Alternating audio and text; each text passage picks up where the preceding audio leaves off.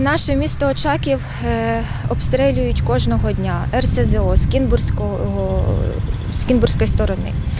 Кожен день місто наше під обстрілами.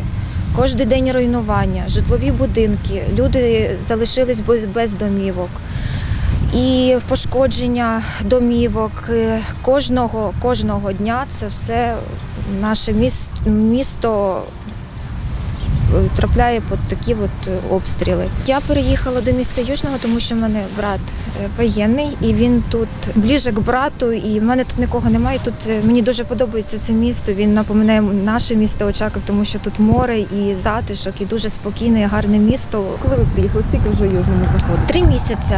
Три місяці. Ми Весь цей час ви знаходилися в Очаку, незважаючи, що там так гучно. Ні, я 14 марта, е, у- в- 14 марта в тому году е, уїхала на Западну Україну. Я перебувала там е, з марта до, е, е, до е, сентября.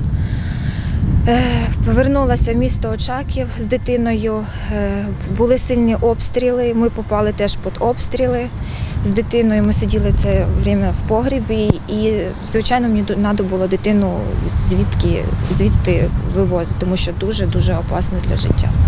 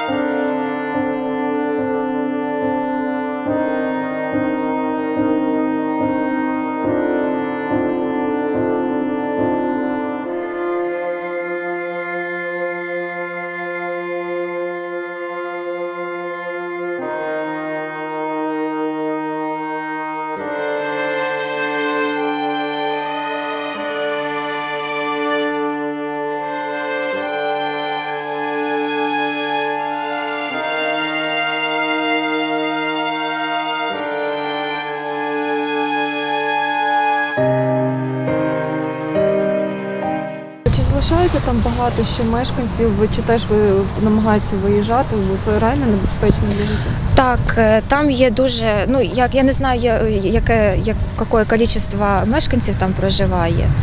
Е, Ну, є так, багато хто уїхав, хто в села повиїжджав ближче, ближче до Очакова, так, тому що самому Очакові дуже безпечно. А також в мене мама проживає е, в село Солончаки, там теж був обстріл села і жінку вбили з чоловіком, дитинка маленька була теж під обстрілом, вона успіла вибіжати і батьків потеряла, і, і в общем, дитина сталася. І там село, село теж обстрілюють. Е, А ваш будинок зараз цілий, тому що там ну, багато руйнувань. Ні, у нас будинок не цілий, у моєї тітки теж будинок не цілий, в неї без вікон, балкона немає, і наша моя квартира з- е, теж е, без вікон.